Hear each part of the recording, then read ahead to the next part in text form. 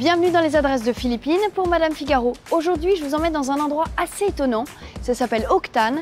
C'est un centre de bien-être, mais qui est spécialisé dans l'optimisation de la santé.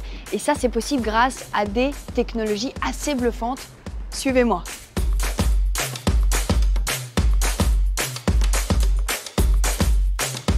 La force de ce lieu, ce sont les technologies. Euh, personnellement, il y a des technologies dont je n'avais jamais entendu parler, évidemment jamais vues. Pour d'autres, ce sont même les premières importées en France. Euh, ces technologies, elles se divisent en cinq univers. Le chaud, le froid, la lumière, l'oxygénation et la gravité. La thérapie lumière rouge, en fait, c'est tout simplement comme un, lit dans lequel on se plonge et dans lequel il y a des LED. Ça a pas mal de bénéfices, notamment sur la circulation euh, sanguine, la cicatrisation. Il y a pas mal de femmes qui viennent ici pour euh, euh, travailler l'éclat et la texture de leur peau. Et pour la petite anecdote, même Kelly Jenner en raffole.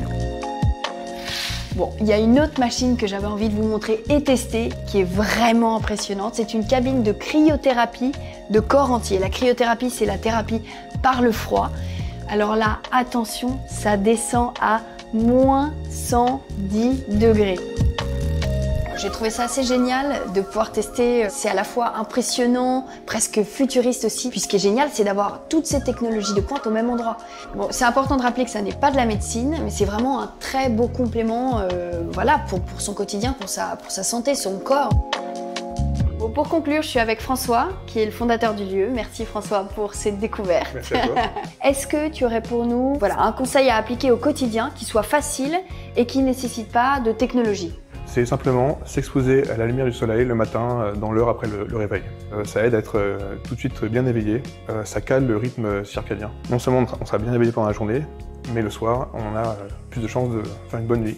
Moi, je vous dis, soyez curieux, passez une tête, posez des questions, le lieu est assez étonnant. Je vous invite à le découvrir et je vous dis à la semaine prochaine. Bye bye